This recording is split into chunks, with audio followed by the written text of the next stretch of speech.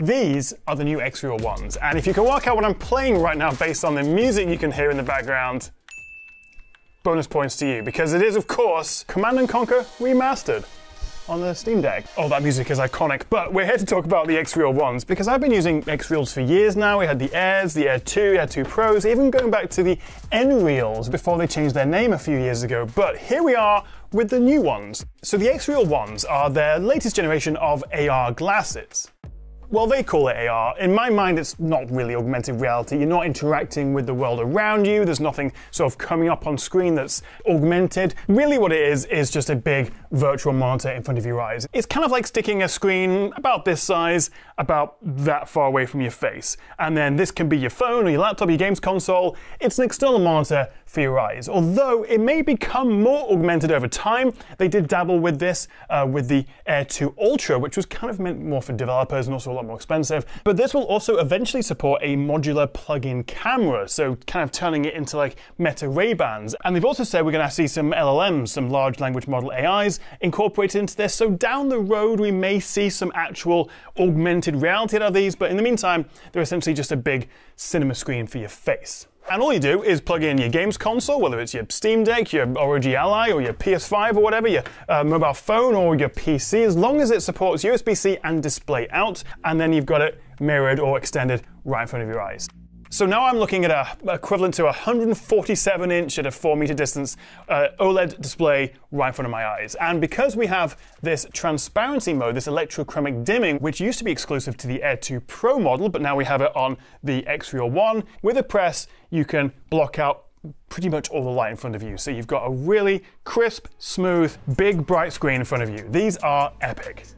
But what exactly is new with these XREAL ones? Well, I'd say there's eight key upgrades. Number one, the fact that we have a new chip, their first custom in-house built X1 chip, which unlocks a whole bunch of features which we'll come to in a second. Number two, we also have brighter screens. Last year, it peaked at 500 nits of perceived brightness. Now we've got 600 nits on the XREAL ones and actually 700 on the upcoming XREAL 1 Pros. Number three, as I say, we've got that wider field of view, now 50 degrees up from 46, although the X-Real 1 Pro coming in a few months will actually boost that up to 57 7 degrees. Number 4, we have that electrochromic dimming, which previously, as I say, was exclusive to the Pro models, so you don't need to pop on a fiddly plastic light blocker anymore. We also now have the anchor mode built into the glasses. Previously, you'd have to have the X-Beam accessory plugged into it, but because of that new X1 chip, it's built into the glasses. So you've got the three modes, follow, and as I give you a bit of a visual representation of this, because it's extremely hard to film through the glasses and you can't record from the glasses, follow mode basically keeps the image directly in front of my eyes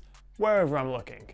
But if I then switch to anchor mode, it then pins that screen, that image, in that same space within my 3D world. So I can move around, I can look around, and then come back to it, and it remains there. Why might you want that? Well, let's say you've got your laptop screen in front of you, and then you could have your extended screen on top or off to one side. Or if you're gaming and you want to plant the screen like a TV would be on your wall or something in one particular location. And this is the first time we can do this through the glasses themselves with the X1 chip, because previously you need the separate X-Beam accessory to give you this, what they call 3DOF, 3DOF, or Dimensions of Freedom. And then finally, number three, we have side view, where you can basically shrink down your screen screen, and then that's sort of great for navigation if you want to follow Google Maps, but you can still see your surroundings in front of you. So follow, anchor, which is new for these, built in, and side view.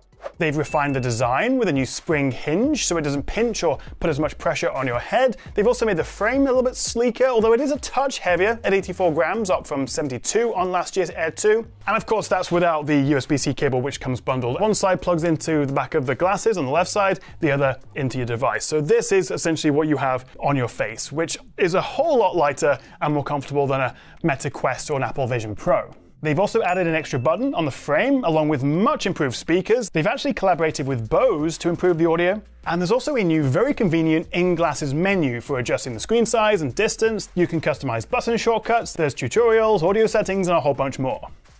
I'm actually going to cheat a little bit because I've got my laptop here, my MacBook, I'm plugging in to the USB-C port, and uh, it's immediately mirrored to my eyes. I'm not sure if you can see the difference when I go between the transparency mode, so I can now see you, uh, and then turn on the full electrochromic dimming. There's actually three levels of the dimming you can switch between, but most of the time I like it blacked out as much as possible. So I could actually do a SuperSaf, who of course always wears his glasses, and read the script, but also look at you in the camera, and you wouldn't know. But to my eyes at least, no pun intended, this is actually a really big upgrade. The wider field of view, the electrochromic dimming not just on the Pro model, and what that X1 chip allows. Essentially, it's incorporating the X-beam, which gives you the anchor mode, which I can switch between anchor and follow just with a single press of this red button. I can also double press it to bring up this new menu, which is actually very helpful. But of course, you are still limited to one display. Yes, you can have an ultra wide, and if you're plugging into your laptop, you can have multiple tabs and windows open within your you know, mirrored or extended screen, but it's still one display in front of you that's still a 50 degree field of view. I say still, that's off from 46, but you're still looking at, you know, a frame of about that in front of your eyes. And you can change the size of your virtual screen down to about 32 inches or all the way up to over 400 inches, although at a certain point over about 140 inches, the field of view becomes a limitation and essentially you're just zooming in on the screen, but you'll then need to turn your head to actually see the edges of the screen. And I'm also pleased to report because they've improved the optics engine and also with this new X1 chip, even coming from the Air 2 Pros, everything looks crisper, everything feels smoother, and they've drastically improved the response time, or more specifically, the motion to photon latency, or the M2P, from 20 milliseconds down to just 3 milliseconds. Honestly, the stabilization, the clarity of these XREAL ones fantastic. And they're the first pair of quote unquote AR glasses to receive a five star eye comfort certification. So I can comfortably watch a movie or edit my videos with really no eye strain. I am someone who gets a little bit motion sick using VR and AR glasses, but I've never had an issue with these. Even taking them on planes and bumpy trains, I'm happy to edit and work and watch movies on this, and I've never had an issue with feeling nauseous or motion sick. And because it is obviously powered by the device you're plugging into, it doesn't run out of battery. Now, of course, the device may run out of battery, but the flip side of that is, let's say I'm on a plane, one of the places I use this all the time, I can actually dim my screen right down, save a whole bunch of battery there. And because my 16-inch MacBook rarely fits on a tray table on a plane or a train, I can also, you know, dip it down, have the screen dimmed, and then kind of use it like a Vision Pro and work this way with my big virtual screen. So in the box, you have this little uh, glasses case for the XREALs, which pop in there nicely, a uh, lens cloth. You've also got this USB-C cable, and essentially if you wrap that around there, that's all you need. Just take that with you everywhere you go and you're set. It also comes with lens frame inserts if you want to put your prescription lens in there, which actually I might do because I found my eyesight's been uh, getting a little bit worse over the last couple of years, so I might actually do that. And also, while these are, for me, very comfortable out of the box, you can also switch out these nose pads, and there are two other sizes in the box. Plus, they also flex quite nicely, so you can uh, pop them on your face, just maybe push up a little bit, depending on your nose. I've got quite a big nose. And like before, these, uh, what are they called? Handles?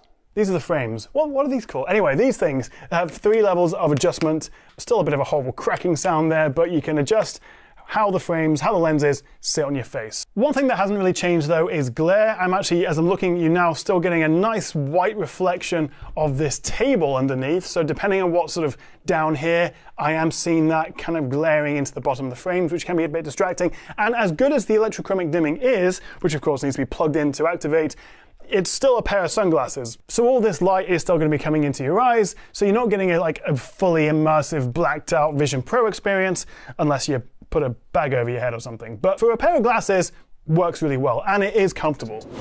So that's just a bit of a first look at the new XREAL ones. This isn't a full review because actually this is running pre-release software. There will be a day one update if you buy one of these and I'll revisit it then. Although I might also wait for the XREAL 1 Pros, which are, uh, I'm told, coming out Q1 2025. Uh, and as I say, come with a brighter screen, wider field of view, which I'm excited about. But still, these XREAL ones very nice upgrade over the Air 2s and even the Air 2 Pros, to be honest. I love the fact we don't have to mess around with the X-Beam anymore. And if you do just want a pair of essentially chunky sunglasses that give you an incredible cinematic screen in front of you for your phone, your laptop, your games console, whatever it may be, you can't go wrong with a pair of XREALs. The downside, there is a downside, these are more expensive, a fair bit more expensive than last year, starting uh, at 499, I think that's the same in pounds and dollars for these XREAL ones, I think it's gonna be 599 for the XREAL one Pro, so 100 more for that, which I think is about 100, 150 more than the Air 2 and the Air 2 Pros were. But what do you reckon? Could you see yourself rocking a pair of these with a nice big screen in front of your face? Let me know what you make of the XREAL ones and if you'd be tempted to pick one up. Thank you so much for watching, guys. If you enjoyed this video, a cheeky like and subscribe would be fantastic fantastic, and I'll see you next time right here on the Tech Chap.